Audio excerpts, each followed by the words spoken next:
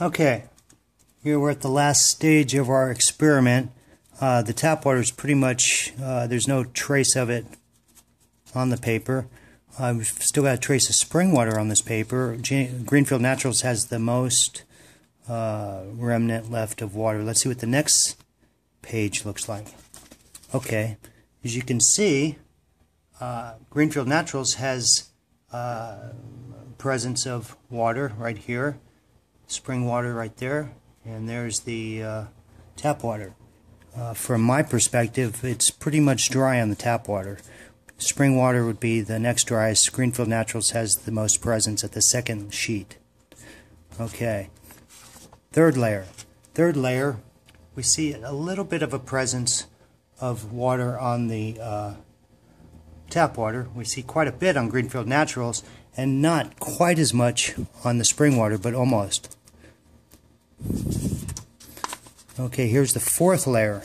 Fourth layer, we still have quite a bit of presence on Greenfield Natural, spring water, a little bit on the uh, tap water. Okay, here's the, this is, let's see, this is the fifth layer. Okay, as you can see, let's move this down.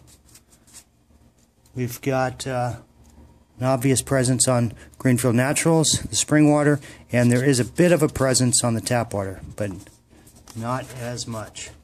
Okay, and last, the sixth layer, we still have more of a presence with Greenfield Naturals in the spring water, whereas there's very, very little for the tap water. And we go down to this level, and um, that's it. We're done. Okay, so what does this mean?